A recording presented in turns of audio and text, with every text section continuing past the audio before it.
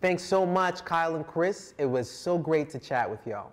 Now, let's dive into today's main discussion balancing business and the arts. Our moderator for today's conversation is Stephanie Lupinacci, Senior Manager of Social Impact at RBC. With a focus on the arts and the Emerging Artist Project, Stephanie has been in the corporate social responsibility field for over 15 years and has a breadth of experience in both the nonprofit and for profit sectors.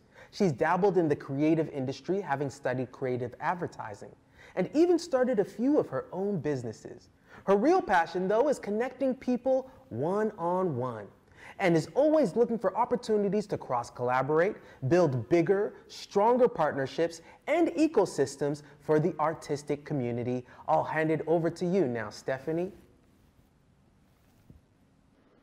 Thank you so much, Ian, for that thoughtful introduction. I'm so excited to be here today to guide this very important conversation around being both an artist and an entrepreneur and discussing what it means to balance both a creative career and a growing business.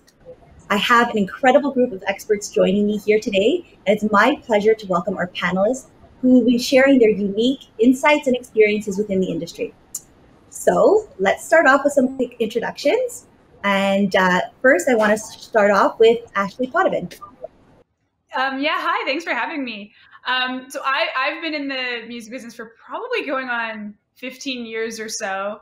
Um, and uh, I I've been day one management team with with Pop Artist Lights, and uh, I'm also on the management team with Arkells. Great. And Milka, why don't I head over to you? Hi, thanks for having me. Um, so I uh, own a PR agency here in Toronto, Conversation Agency. I've been in the PR world for about 20 years now, um, and also PR program instructor at the Remix Project, which is a cultural incubator. Um, really helps educate and provide support to young people from underserved communities. Wonderful. And last but certainly not least, uh, Tina. Hi, hi everyone. Uh, my name is Tina Pereira, and I'm a professional ballerina with the National Ballet of Canada. I've been dancing with them for uh, almost 20 years now, and I'm also the owner and founder of Ballerina Couture Dancewear, which is a high-end dancewear company. Perfect. Thank you all for those introductions. Uh, we've got a lot of interesting topics to cover uh, today, so why don't we uh, dig in and uh, get started?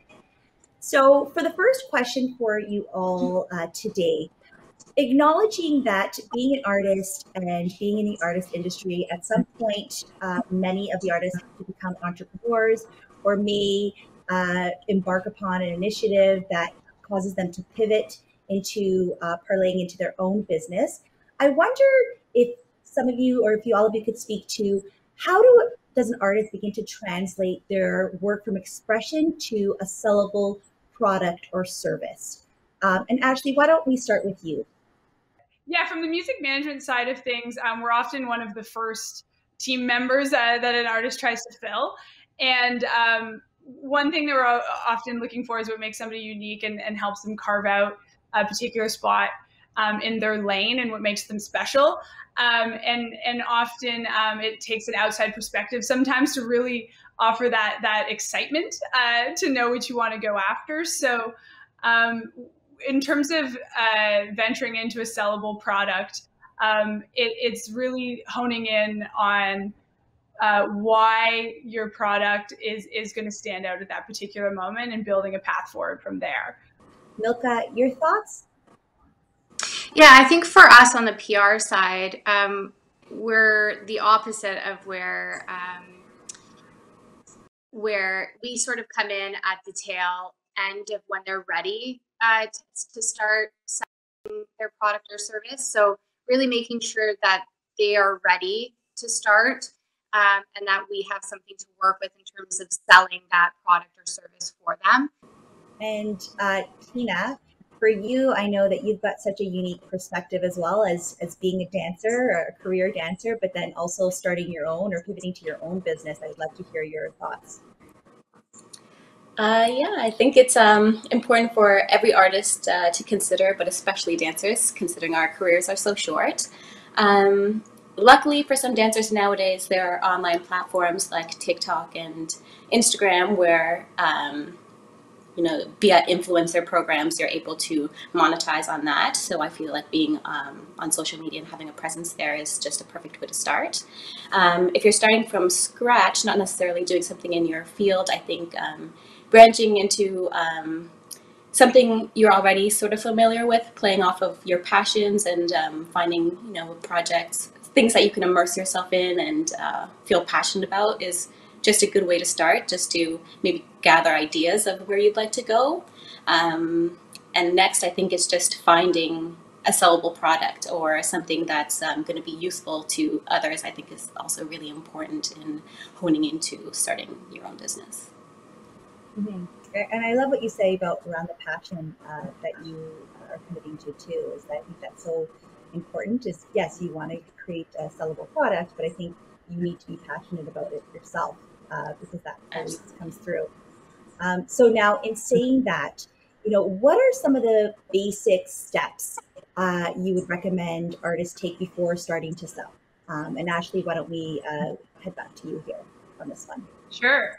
Yeah, we we often look at um, these artist ecosystems as as um, a small business where everybody has their role to play, and uh, mm. and brings unique perspective. And so building out a team is is obviously really crucial in figuring out what those team members do and um, you know how you negotiate uh, what you're giving to them in exchange for the services that they're providing. So in the, in the case of music, you often start with management, agent, label, and having um, uh, people in, in, your corner uh, fulfilling sort of a mentorship role to help you navigate building that team is really really important. Um, you know you you can be really excited at day one and and and it's important to have people um, remind you to practice patience to make proper decisions. Um, you don't want to uh, necessarily commit to a, a, plan for too long sign away too many albums things like that. It's, it's really important to preach um, looking beyond uh, canada as well and thinking about how you can diversify your audience and and target different audiences um, early on and not limit yourself. So um, I think the more uh, diverse viewpoints you can have in your team to help open your mind to how you want to grow and and and know the options for you is is really important and um, and then ideally uh, having a lot of trust in those people because you're you're on a pretty personable ride for a long time, right? Um, so uh, I would say step one is is building that team that is going to help help help you lean in and, and guide you along the way um, because there's lots of time to make mistakes. there's there's lots of time to kind of to, to, to dig in and, and, and learn yourself. Um, but if, if you can get any headway from experts to make sure that you're not committing to something that you don't necessarily have the foresight to know you don't want to commit to, that that's also really helpful. Mm-hmm. And I think, you know, acknowledging that a lot of our audience today are, you know, emerging talent, uh, just starting out in the industry or, or mid-career uh, talent, you know, when you talk about ensuring that your team or building a team that you trust, is there certain points in your career that you should make sure that you have that team in place? Like, do you recommend early onset? Do you recommend, you know, when you've got a little bit more of an audience to start putting things into place? Uh, is there a key timing that you should be, or that they should be considering, you know, when to kind of gather their team? Um, yeah, if you're if you're fortunate enough that you know you might have a lot of interest um, in your project early, then that that's a, a, different type of excitement where you you need to practice a little more patience. Um, the the grind is different, and uh, you you might be in a you have much more leverage to hold on to things as well. Um, it's you know ownership is a big conversation that that is coming up more and more and more these days, especially with so much sort of UGC you know options available to artists to get get their music or content out there. Um, and if you uh, you know have heat in any particular area, it's going to help um, help you climb climb that ladder a lot faster. And you also want to um, really protect what makes that special and, and protect your voice.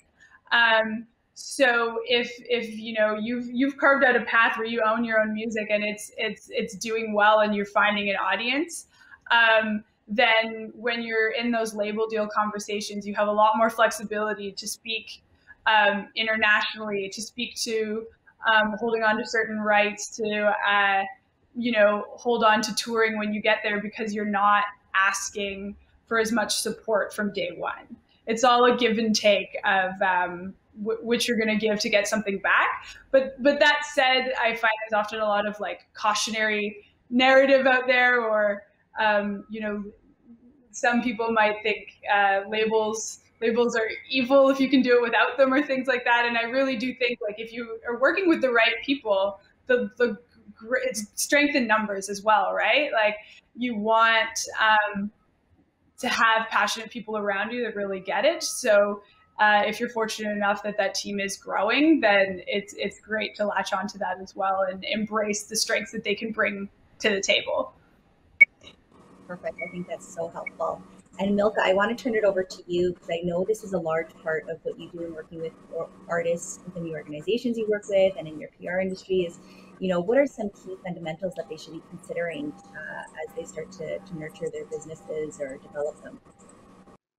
Um, so just to really uh, add to what Ashley had said as well is, you know, I think it's really important to understand your market, um, your presence within that market, and also um, understand your value. I think it's really important um, for people to, you know, do some research, um, before you take that necessary step and understand where you'd like to be um, so that you have a goal. Perfect.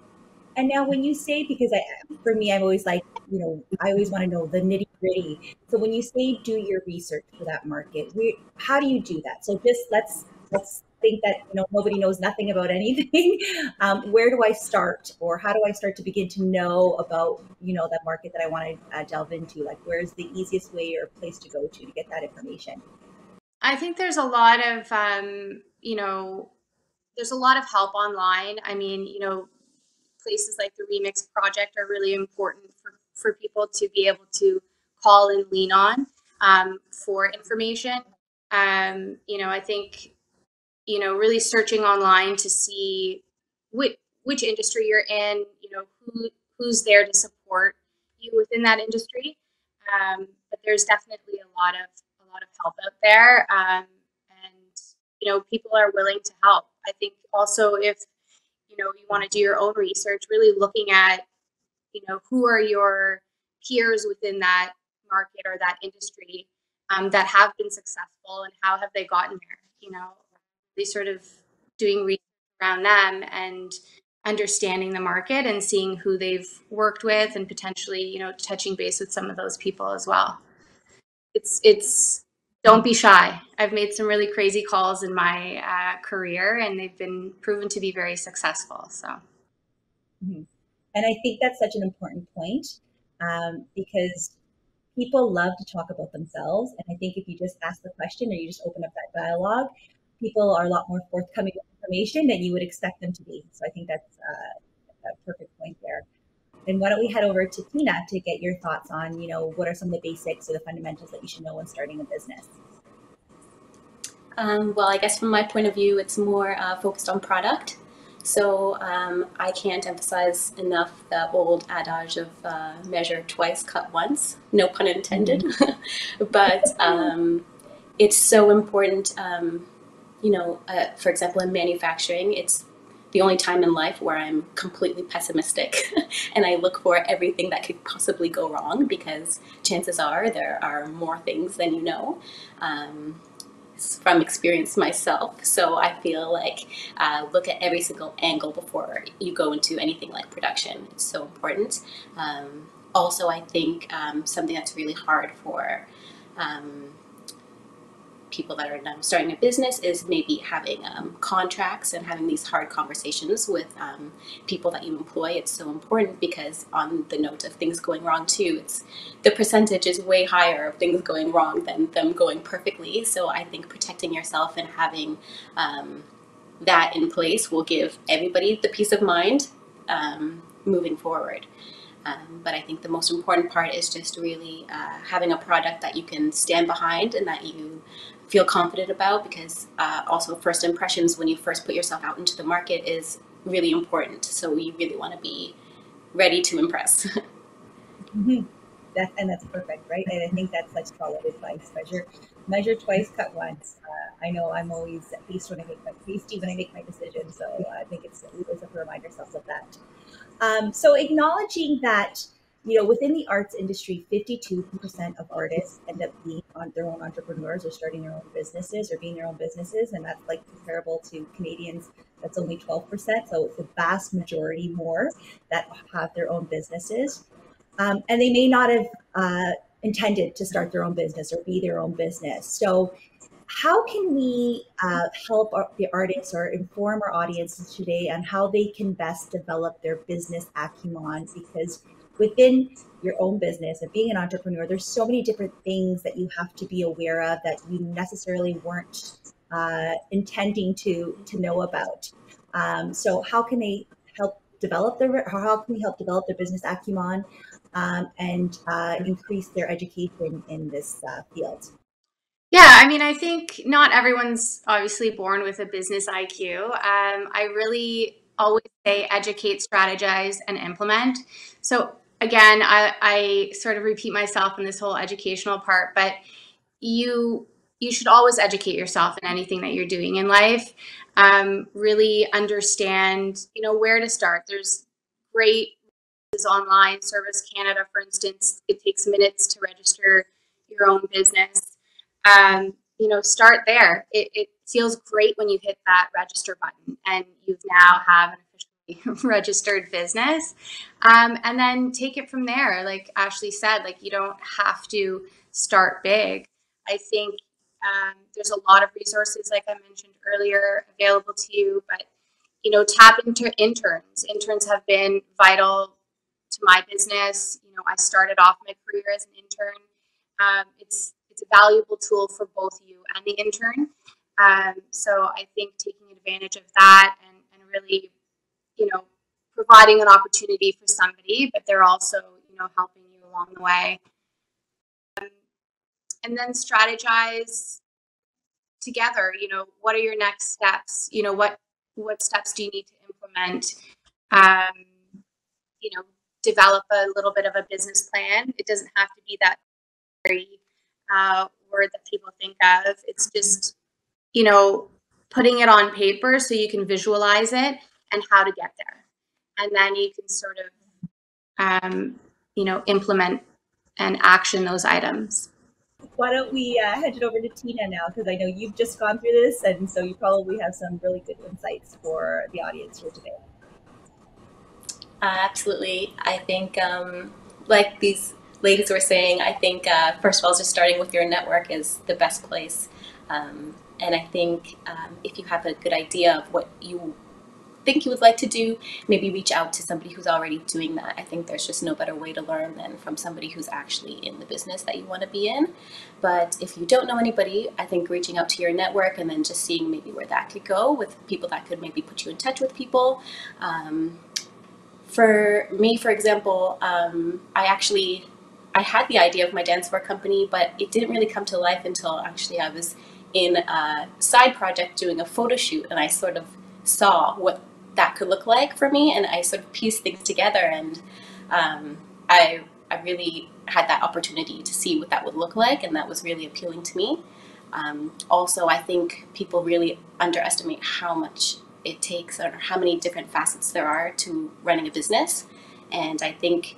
Um, the sooner you get to know what those things are, um, the better, because guaranteed there are going to be at least 20% of things you just hate doing. or that you don't feel comfortable or that you feel are beyond you. So um, it's just good to know all sides of the business that you're going into. And so I think if you can find somebody that is doing that, you're you're really lucky. But maybe you can piece things together and um, with different recommendations and sort of get there one way or another. Mm-hmm. Mm-hmm. I think that that's key and so helpful. Um, and now, since we're on the topic of business strategy, uh, you know, how can artists uh, evaluate their business and refine their strategy before reaching out to potential investors or partners?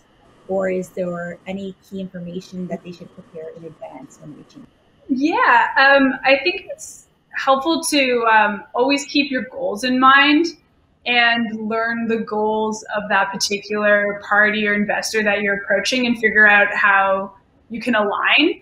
Um, all of this, you know, is is is a bit of a teamwork interaction with with give and take, um, and there needs to be a common place to to start that conversation and figuring. Uh, you know, really knowing your audience and knowing their audience and how you can collaborate best um, on on something that feels like it's one plus one equals three. You know, um, often uh, depending who you're going after, they have a lot of people trying to get their attention. So um, the more prepared you can be um, with information and data to really present yourself in a favorable way to show what you can bring to the table um, is is really strong. But it's also important to um, keep in mind uh, that that you're really valuable uh, in in this you know interaction and and know that um, you you have options and you want to be working with people that support you right? And so uh, always keep in mind you have the upper hand and when it comes to your art. And um, you know how to speak to it best and then just figure out what it is about them that's going to make that grow. Perfect. Milka your uh, thoughts? Yeah, I mean, I think in our industry, it's really important to develop a media kit. Um, you know, this is uh, something that I'm asked for daily. Um, you know, whether it be wor- we, working with artists or influencers or whoever, um, where's their media kit? You know, um, so really sort of put this together. It's it's super easy document. Really, just explaining who you are, you know what is your product and service that you're offering um, you know why you what are you doing that's different um, you know be creative with it. You know i get some that you know i can tell took a couple of minutes to throw together and then i get some that are really great um, that i spend time on and i actually read through. So i think that's your your voice um, when when you're not actually speaking to somebody right? So um, really spending the time on creating a media kit um, that you can pitch yourself uh, through. Um, and it's okay if you don't have any press. Um, it's just, it's really a who are you document um, and why you. so, and then as you evolve, that media kit gets bigger and better over time. And uh, now, Tina, your thoughts around, uh, you know, what they should uh, information should artists prepare in advance or how can they help refine their strategy um, yeah i think the very first thing is probably um, your target audience figuring out who you're selling to if you have a tangible product i think that's really mm-hmm. important mm-hmm. um, especially as you continue to grow and then you um, get into marketing and that sort of thing you, you have to be clear about who your audience is um, that also you know dictates the rest of your uh, your branding, how that's going to look, and that sort of thing. So knowing that um, is, uh, I guess, your first step to then sort of develop uh, your plan around that. Um, I also think um, experience is paramount um, because you really want to know the ins and outs of your business. You want to know the ups and the downs and the highs and the lows and the timing of everything, so that when you do present something, it's a it's a it's a well-rounded experience. It's not uh, it's not something that you want to dive into really soon. Um, also, you want to have an idea of um, what you would if you're taking on investors investors, for example, what you're willing to give away, and just that sort of stuff is kind of more down the line. But I think the very uh, first step is just having your product out there and then having the experience and just riding the waves of business for a while before you mm-hmm. bring anybody else on. And I guess just a more personal question. As you were starting out, was there uh, tools or a specific place that you started to gather your your information to start to develop your business, or did you have someone help you kind of navigate this new uh, pathway for yourself? Um, well, like I mentioned, I had that photo shoot experience um, in a in a uh, manufacturing facility that sort of opened my eyes um, to it, and it gave me. Um, yeah, an example of what it could look like, but from there, I sort of had to do my own research, reach out to my own people, and figure out where I fit in into that and where my strengths are, and um, that sort of thing. Uh, we know that knowing people or knowing uh, how to get in or how to navigate those networks is so imperative. Um, I think I just read something last week is that 85% of all uh, or most jobs are filled by uh, having the ability to access the right networks. And 75% of jobs are filled by having the right connection. So it is so key. And, and knowing that, do you have any advice around building a networking strategy? Um, should artists have clear numbers or goals and around that? Um, is it something that they need to be strategic about, or do those relationships, should those relationships evolve, evolve organically? Um, so why don't we head back to um, Ashley here? Um, yeah, I think um, I was thinking when Milka mentioned, you know, building that media kit uh, from the get go, and, and, over time it gets better. It you you often come up with with a network um, of different types of creatives that um, that you feel like you there's a give and take with everybody's start, be it photographers. Um, you know, uh, new new people at a label, things like that, and and remembering that you're all growing together and move around a lot. The industry is really small, and um, and as as you network and navigate it, um, you're often working through different spheres of the industry together. Um, and there's also you know an authenticity to that network. Those early people that you find and build with, um, they know where you come from. They know what what you're into, what you're trying to communicate um, what you're passionate about. And um, if you really know what's authentic to you and know your audience and how you're authentically connecting to that audience, um, that that will you know move, move around a certain type of network to, to find the right kind of people um, that's perfect and now uh, milka i want to head to you because i know you had mentioned something earlier on around don't be shy and reach out. And so I think uh, I would love to hear kind of your thoughts around building that networking strategy. Strategy, and is it a strategy or is it organic, and how to do that? Yeah, I think this is my favorite topic to talk about. Um, I tell my students at the Remix Project all the time. I'm like, networking internships are number one. I, I wouldn't be here today if I didn't network the way I did, if I didn't intern the way I did, if I didn't put the time um, into myself the way I did. Um, I'm always available to my students. I, I, think it's really important to be. Um, you know, they still call me to, to, this day, but when I was um, growing up and, and uh, starting my career, I really leaned on a lot of people and I I made sure, as shy as I am, uh, I made sure I picked up the phone and, you know, made those calls and, you know, built those relationships over time. I think there's not enough to be said about just dropping a note to say hello uh, to people. Exactly. And picking up that phone, make that phone mm-hmm. call. Um, even if the internship's not posted, call. Um, see if they're if they're interested in taking you on or I think the mm-hmm. phone's a valuable space that we tend to forget about. yeah, it's novel these days instead of a, a voice yeah. call instead of a text message. That's for sure. Uh, perfect. And now, Tina, how about uh, over to you? Uh, what are your thoughts around networking and building a strategy?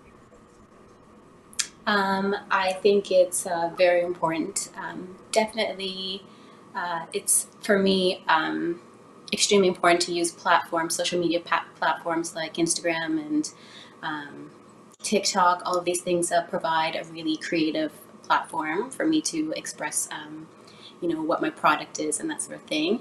I think the dance world in general is so small to begin with that um, being connected, um, even on Instagram, you can reach dancers, you know, in every dance company around the world, which is incredible, um, which wasn't necessarily the case before. And even further now, you can sell your products on, on Instagram. So you have um, the potential to be seen by the world and then also to sell, which is incredible.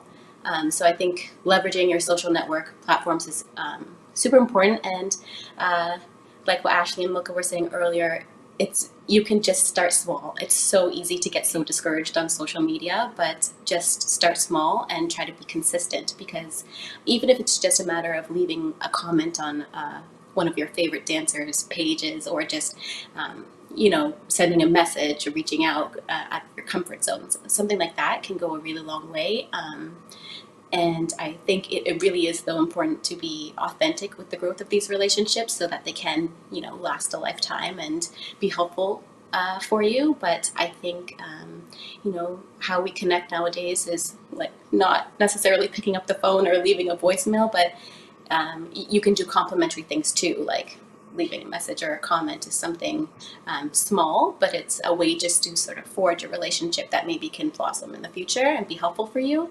And perhaps um, something I like to do also uh, is with my fellow dancer entrepreneurs to do collaborations with them, because then that way you reach two audiences at one time or uh, host giveaways, that sort of thing gets a lot of attention to your page. So there actually are a lot of uh, free options uh, that are still hopefully going to remain free for the next couple of foreseeable future, but um, there's a lot of power in leveraging your social media. So I think um, if you have a good, um, if your your brand messaging is strong and everything like that is set up, it's a good time to just start reaching out.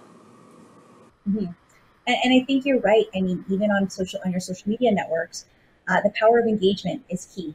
Um, so if you don't know those individuals, uh, but you want to get to know them, as you said, put a pop a comment in their in their photo and do it consistently over and over again because there's that relationship that can start to build and you start to feel like you know that person digitally. Um, and so if you're consistent about it, and, and I always use the story is, you know, one time I saw somebody on social media I was engaging with, and I looked at her and I went to go hug her. This is pre COVID because I felt like I knew her because I engage with her so much on social. And then we both paused because we really know each other. and then we went in for the hug anyway. So it is powerful. Um, but yeah, absolutely that level of consistency. And, why not do both, right? Do everything you can. If you're starting to work, if you're starting out, like pick up the phone, make that, try and make that physical contact, but also be relevant and engaging online on the social networks uh, as well.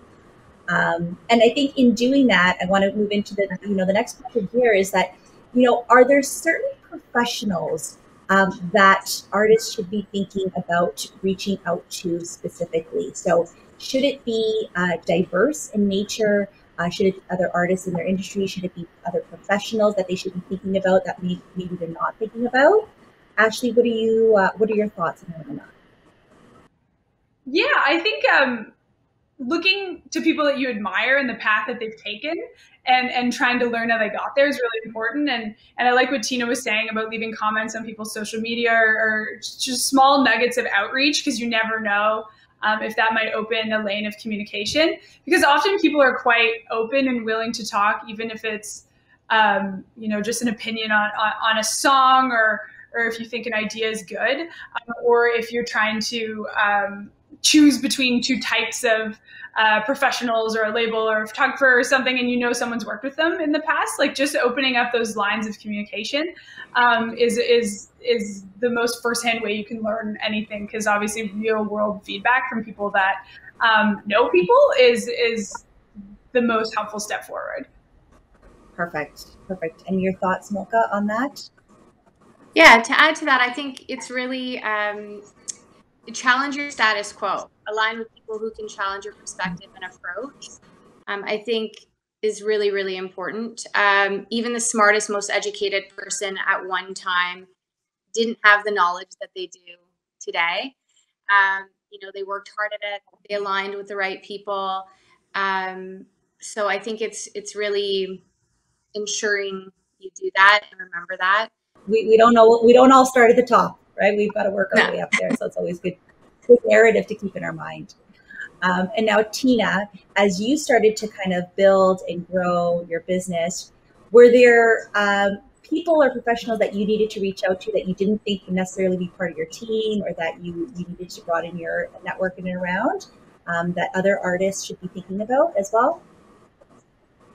Um, yeah, I think everybody's different in business with their strengths and their weaknesses, but I think the first step is knowing what yours are.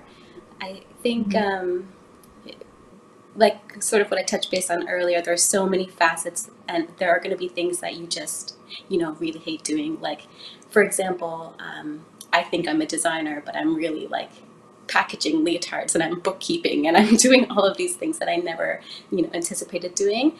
And um, uh, with my experience, I've really realize the things that just take up way too much of my time that I'm not qualified to do, um, like bookkeeping, bookkeeping, for example. So I think having people in place or just starting to reach out to people that can um, take away some of your um, you know your biggest hurdles the things that are slowing you down in your business obviously this is something for the future because when you're first starting off you absolutely have to do everything yourself because there are just so many costs involved.